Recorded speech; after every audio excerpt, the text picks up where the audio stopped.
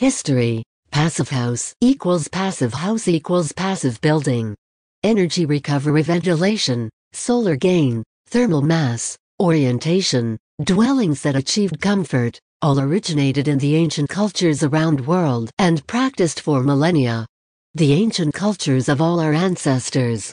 Fully developed solar architecture and urban planning methods were employed by the Egyptian, Babylonians, the Chinese followed by the Greeks. Solar design was largely abandoned in Europe after the fall of Rome but continued unabated in China where cosmological traditions associate the south with summer, warmth and health. Although earlier experimental solar houses were constructed using a mixture of active and passive solar techniques, some of the first European engineered passive solar houses of the modern era were built in Germany after World War I, when the Allies occupied the Ruhr area including most of Germany's coal mines. Architect George F. Keck was a pioneering designer of passive solar houses in the 1930s and 40s. In 1940 designed a passive solar home for real estate developer Howard Sloan in Glenview, Illinois.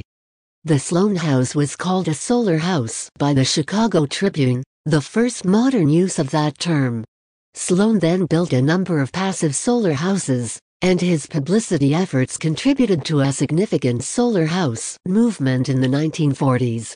Frank Lloyd Wright used passive solar principles in some of his designs, most notably in the Jacobs House, built in 1944 in Wisconsin, which was also known as the solar hemicycle or solar hemicyclo.